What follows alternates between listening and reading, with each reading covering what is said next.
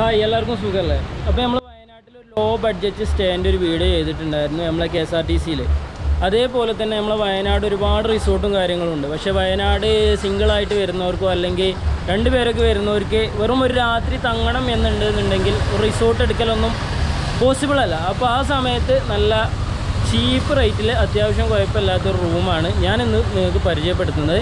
ഞാൻ ഇന്നലെ ഇവിടെയാണ് തങ്ങിയത്. അപ്പോൾ നമ്മളെ മേപ്പാടി ടൗണ് ബസ് സ്റ്റാൻഡ് വരുന്നത് അവിടെയാണ്. ഇവിടെ പയ്യ പോളിടെക്നിക്കിന്റെ ഇതാണ്.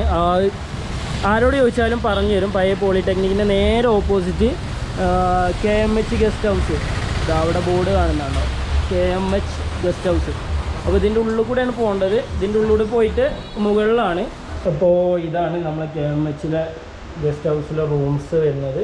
സിംഗിൾ റൂംസ് ആണ് കേട്ടോ. ഇതൊക്കെ ഇതൊക്കെ സിംഗിൾ റൂംസ് ആണ് ഇതാണ് ഞാൻ എടുത്ത റൂം. വെറും ഇരുന്നൂറ് രൂപയേ ഉള്ളൂ അത്യാവശ്യം അടച്ചുറപ്പുള്ള റൂം തന്നെയാണ്. നമുക്ക് പോകുമ്പോൾ ലോക്ക് ചെയ്യാം.